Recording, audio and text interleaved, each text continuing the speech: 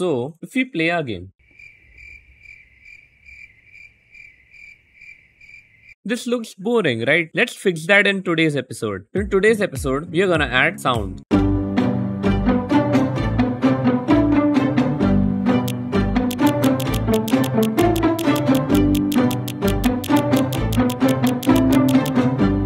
Just like this, and also a way to control it.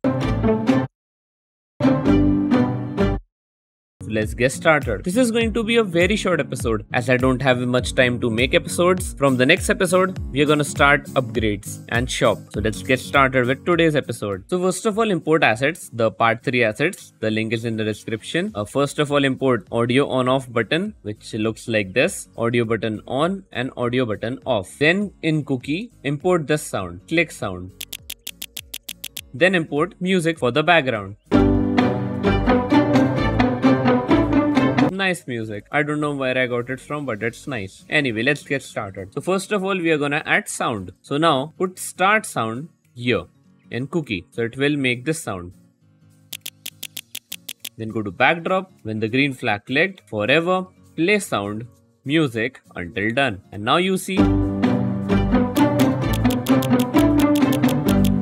this is already done but we also need to control it so to control it first of all go to audio on off and here when the green flag clicked hide as we don't want it when I start the game we want it in this screen right here and to do that when I receive start game go to X and Y the position you put here. So let me see where it stands. It is already here. So copy these values if you want. Then put switch to costume, audio button on or off. Doesn't matter because it will be automatically updated. Then put go to front layer and show. Also put set size to 70% uh, because it looks good. Then we start scripting the forever loop. So forever if else touching mouse pointer. So first of all we need to put the effect that we always do which is the bouncy effect. So you can just go to cookie and grab it from there. Just drag this here and leave it. Now when you go here, you will see you have this block. So in the top one, put 90 and put it here. Duplicate and put it in else and in the else value, put 70. So now let's start it and see.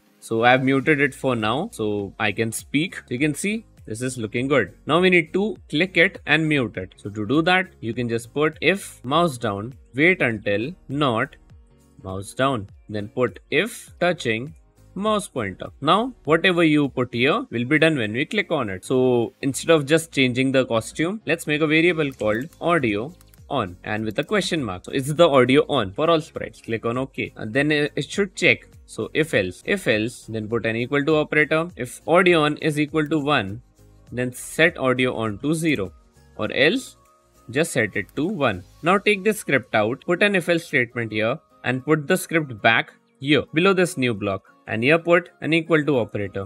If audio on is equal to 1, then switch to costume, audio on. In else, put switch to costume, audio button off. Now when we see it, play. You can see it is mute, then we click on it, it is unmute, then we click on it, it is mute again. You can see it is not very smooth. So now to make it smooth, one thing you can do is duplicate this block and put it below this and maybe put the size to 50 maybe. So now when you play, this is really smooth. This looks really smooth now. Now to control audio with it, you can just put go to cookie and put here when the green flag clicked forever put here an statement then an equal to operator audio on is equal to 1 if audio on is equal to 1 set volume to 100 and then else set volume to 0 just drag the script and put it in background and just clean it up here as well. Now when you play the game, the audio will be controlled by the button. Let me turn on the volume and stop talking for a minute. You can see I clicked on it and it got muted. And when I click on it back, it will be on again.